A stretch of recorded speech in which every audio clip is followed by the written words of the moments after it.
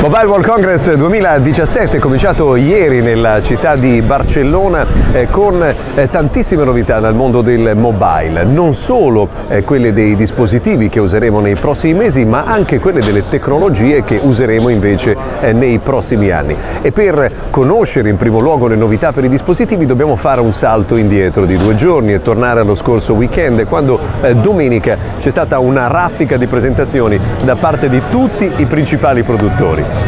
Si comincia da Alcatel che ieri mattina ha presentato un prodotto molto curioso addirittura con una cover LED eh, riportata sul eh, retro con dei temi cromatici molto particolari che si attivano quando si stanno eh, facendo conversazioni. Nella giornata di ieri poi è arrivata anche la novità di LG che ha lanciato LG G6, il eh, nuovo top di gamma con tantissima tecnologia al suo interno. Eh, parto con il ricordare una doppia fotocamera addirittura con il grandangolo, quest'anno tra l'altro con la scelta di adottare un sensore da 13 megapixel, quindi molto più sofisticato rispetto a quello dello scorso anno. Però parlando di LG G6, la novità più interessante è stata quella del display con la proporzione 18 noni, quindi un display eh, più lungo e stretto che rende il telefono più maneggevole e tra l'altro adotta esattamente la stessa proporzione dello schermo cinematografico, quindi per la riproduzione di contenuti multimediali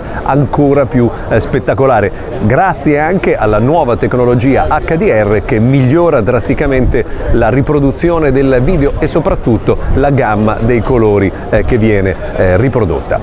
non solo LG G6 ieri sera, potremmo parlare di tantissime tecnologie, tra l'altro dentro eh, il nuovo prodotto coreano, ma nel corso del pomeriggio della domenica è stato eh, presentato anche Huawei P10. Questo è un prodotto che stiamo già eh, utilizzando tra l'altro in queste ore che introduce tantissime novità. Intanto eh, viene confermato l'uso della doppia eh, fotocamera, un sensore per il bianco e nero e uno invece per le immagini a colori. Quello per eh, le immagini bianco e nero quest'anno tra l'altro è da 20 megapixel, quindi più sofisticato rispetto a quello di un anno fa. E poi scelte cromatiche molto particolari con una linea di prodotti realizzata in collaborazione con l'istituto Pantone che porterà eh, il colore verde ad esempio e questo particolare azzurro sul mercato anche nel nostro paese. Bisogna sottolineare che Huawei ha portato due prodotti, P10 e P10 Plus, alzando il prezzo rispetto allo scorso anno. Il modello base costerà 699 euro, mentre il modello più grande arriverà addirittura a 829. Nei prossimi giorni vi racconterò tutte le